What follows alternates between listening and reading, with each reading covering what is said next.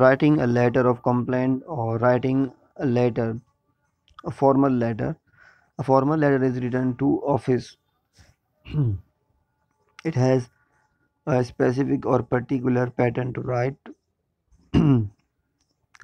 Suppose you are vinay.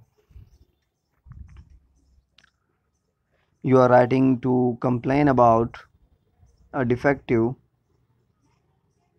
purchase आपने कुछ ख़रीदारी की, जिसमें कुछ डिफेक्शन पाया गया। So you want to write a letter to the concerning person और department your letter should be something like this तो अगर हम ऐसी शिकायत दर्ज करवाना चाहते हैं तो हमारा लेटर कुछ इस तरह से होगा। Firstly will write the manager यहाँ पर मैनेजर से स्टार्ट किया गया है लेटर को। क्योंकि यहाँ पर इन्होंने एड्रेस राइट साइड में लिख दिया है जो कि ओल्ड पैटर्न था।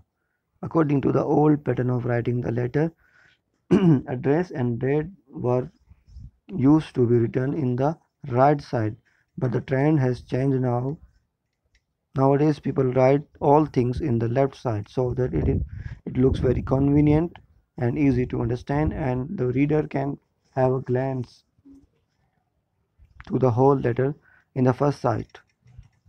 So the manager it is the post or we can say the electrical uh, official department whatever then dear sir it is the example of salutation. Remember we had we have two words in the salutation dear and sir. And the first letters of these two words has been capitalized dear का D और S जो कि sir का word है, इसको capitalise किया गया है। On date I purchase on date का मतलब यहाँ पर आपको डेट मेंशन करनी है। On date I purchase from your shop a vacuum cleaner give name of the make the name of the model उस प्रोडक्ट का नेम आपको यहाँ पर मेंशन करना है, जो कि आपने परचेज़ किया था।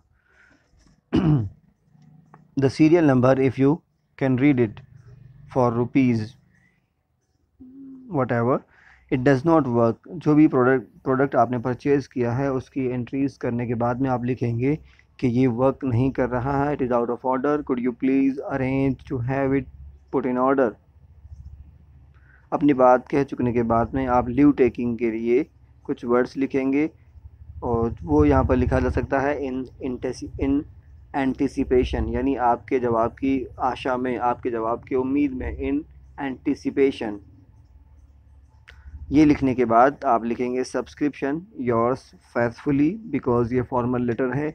याद रखें, ये टेबल लर्न करने के बाद में काफ़ी इजी हो जाएगा आपके लिए लेटर को लिखना, याद करना. Just you are suppose to write learn this table this table it will help you to write the salutation and subscription accordingly.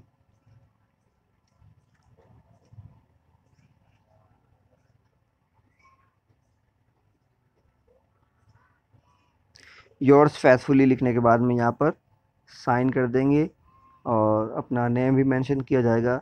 याद रहे कि सिग्नेचर जब आप कर रहे हैं तो ये सिग्नेचर नाम के ऊपर किया जाता है, ना कि नीचे।